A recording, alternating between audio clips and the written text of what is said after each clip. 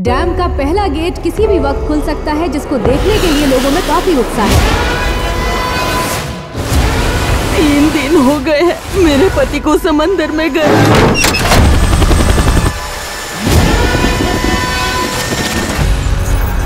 तू जिस आड़ में असिस्टेंट होगी ना आगे से मैं वो नहीं करने वाला। भला कौन कहेगा तुम मछुआरों के बेटे हो? नहीं रहना मुझे इस घर में। जा रहा हूँ मैं। अनु तुम्हारे साथ और नहीं रहना चाहती इसलिए वकील ने तुम्हें पेपर पर साइन करने के लिए कहा है। इतने ही फट्टू हो तो तुमने आर्मी ज्वाइन क्यों की थी? तुम फौज छोड़कर क्यों आ गए? बस फिर मैं वहाँ से डर के भाग आया। मैं एक पानी की बोतल अपने साथ ले जाऊँ? अरे ले लेना। मालिक। देखा एक बूंद पानी के लिए भी इन लोगों को बहुत दूर जाना पड़ता है। मीडिया वाले यही तो उनका काम है। एक लंबे अरसे के बाद इस डैम का शटर खुलने जा रहा है।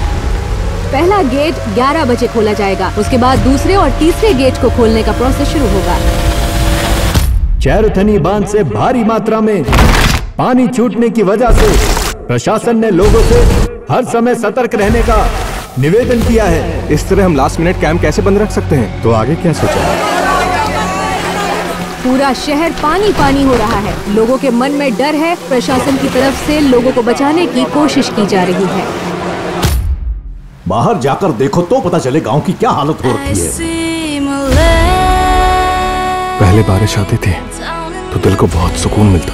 पर अब लग रहा है कि जल्द से जल्द छुटकारा मिल जाए। यहाँ पर हमारे पास पीने के लिए पानी नहीं है।